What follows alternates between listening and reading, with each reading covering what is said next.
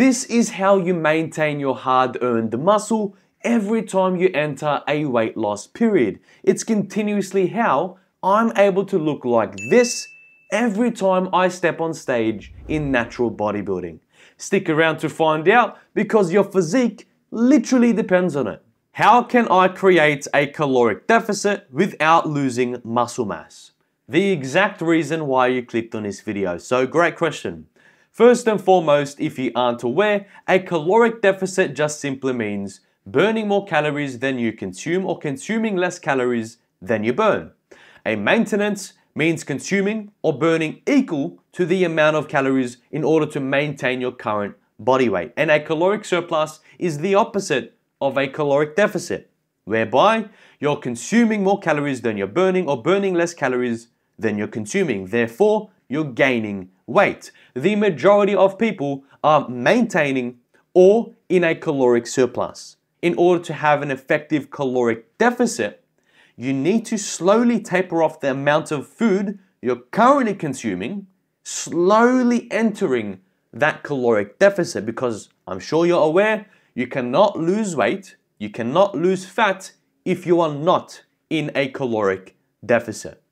The most effective calories in order to maintain your current muscle mass is from 300 to 700 calories in a caloric deficit, dependent on your starting point and also dependent on the urgency of your goal. So let's say, for example, I have a wedding in eight months and I want to lose 10 kilograms. You are in a perfect position in order to slowly taper off from your current calories, entering your caloric deficit, usually giving yourself 7 to 14 days to make that transition. It's realistic, and you're giving yourself the best possible chance in order to maintain as much muscle mass as possible. Compared to you have a wedding in three months, needing to lose 10 kilograms. The urgency of this situation requires you to have a more strict approach when it comes to the tapering and when it comes to your caloric deficit. Therefore, giving you a less likely chance to maintain as much muscle mass as possible. Now, I'm not saying you're not going to have any muscle left. You're just going to be burning some more muscle in the process in comparison to taking this slower approach. The slower approach, again, it doesn't mean that you're not seeing results. It just means that you're burning your fat, losing weight, while giving yourself and giving your body the best chance to maintain your muscle mass. As I mentioned, the tapering process ideally in a perfect world, should take 7 to 14 days in order to enter that caloric deficit. Thus, the approach of calculating your average caloric consumption over the course of one week is the recommendation because you need to know how many calories you're currently consuming from your maintenance calories. You can do this in one of two ways going online for free, searching TDEE, entering your data into that calculator and getting your current calories for your height, your weight, and your activity level. Or you, there's another approach where you can just enter your data into an app like MyFitnessPal, which is again completely free, calculating your average food consumption over the course of one week, then seeing how far away from your maintenance calories you are. The low effort and less brain work approach is literally just eating less food over the course of the seven days to 14 days continuously from day to day. However, in saying that, at some point you do have to know the basics of how many calories you're consuming at least over the course of one whole day to know what your current caloric deficit truly is. Because if you're too far into a caloric deficit, then of course you can see you're not going to be maintaining as much muscle mass as you would love to maintain. I hope I was able to explain as in depth as possible how to maintain your muscle mass while effectively entering a caloric deficit. How much protein should I consume to maintain my muscle during fat loss? It really depends on how many years you've been consistently training at the gym. If you're a beginner to novice, having trained between 0 months and 24 months, then consume between 0.8 to 1 gram of protein per pound of body weight. If you're an intermediate, advanced, or athlete, then consume 1 to 1.2 grams of protein per pound of body weight. If you're competing on stage in natural bodybuilding, then stick between 1 and 1.3 grams of protein per pound of body weight.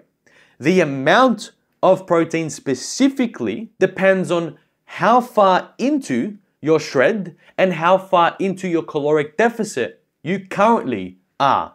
So, for example, if you're currently only one week to like six weeks into your caloric deficit, then you're safer on the lower range of that. The longer you're in a dieting period, the more protein your body is going to require in order to maintain your muscle mass, or at least give your body the best chance in order to maintain your muscle mass. Hence why I've given you a protein range. So, dependent on your training age, make sure that you're making the slow and gradual changes from, I would say, every fortnight. However, I wouldn't necessarily immediately jump from 0.8 to 0.9 to 1 if I was a beginner. I would instead just look at the amount of protein within this range. Let's say my range of protein after doing the conversion is 140 to 190 grams of protein. From fortnight to fortnight, I would instead just increase the protein from 140 to 150 to 160, etc., etc. Because the jump from 0.8 to 0.9 is, I would say, a bit too dramatic from the requirements of protein that you actually require in order to maintain your muscle mass. However, the long story short is just slowly and gradually increase the amount of protein you're consuming as you progress in a dieting period. What are the best types of exercises or exercise recommendations I need to be doing to maintain my muscle during fat loss? Whatever it was that you were doing prior to entering this dieting period is exactly what you must be doing in this dieting period. The same workout plan, workout structure, the same training times, same intensity, same progressive overload principles, everything. Nothing changes when it comes to your training. If you weren't weightlifting whatsoever, then I don't see how you have any muscle to unmask. Thus, just maintain whatever cardiovascular endurance you were doing before. But we are assuming that you're shredding to maintain some sort of muscle that you've developed through the process of weightlifting. Therefore, I would recommend that you do your absolute best to maintain exactly what you were doing in the gym or outside of the gym, whatever weightlifting practice you were doing in your dieting phase during that dieting period. It is literally a way for you to tell your body, muscle, hang on. It's gonna be a rocky ride. I know I'm losing weight, but do not lose hope. I need you, I need the muscle because I'm still lifting the same workload, I'm still performing the same intensity as before. Thus, I still require the same amount of muscles. As you slowly lose hope when it comes to performing the same intensity, the same exercises, the higher the likelihood that you're going to be losing some muscle mass. Look, it's inevitable that the longer you draw out your dieting period, you're going to be losing strength. There's nothing you can do about that. But you need to fight and do everything in your power to slow down the rate at which you lose strength in order to maintain the most amount of muscle mass as possible when you get to your final physique, your final form.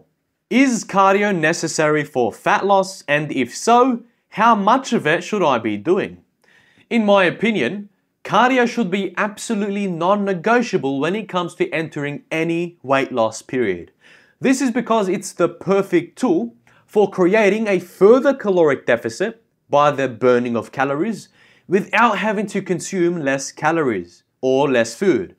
Therefore, it not only becomes easier but more sustainable for you in both the short and long term.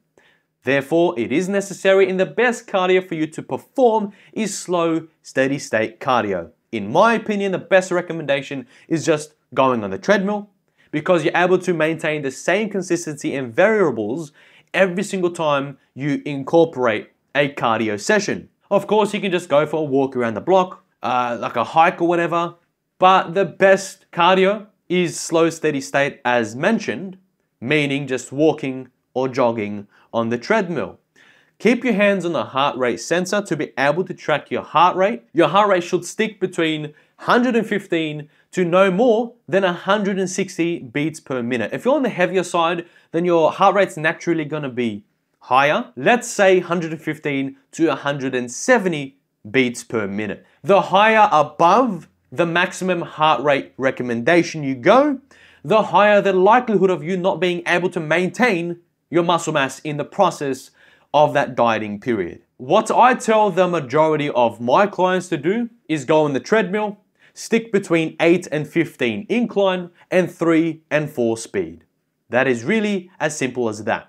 The total duration of cardiovascular endurance really depends on how far you are in your caloric deficit or how heavy your starting point is in your caloric deficit. Also, by the way, how much food you would like to continue consuming in your caloric deficit. There are so many variables there, therefore, it's too broad to give you an accurate recommendation or requirement for the total amount of cardio you should be doing. But I would say, as a general rule of thumb, stick between one hour and three hours of cardio in total per week. Past that point, then I would say you're more in the territory of competitive bodybuilding for stage. Less than that, then you're not really giving yourself the best chance to burn more calories through the use or tool of cardio.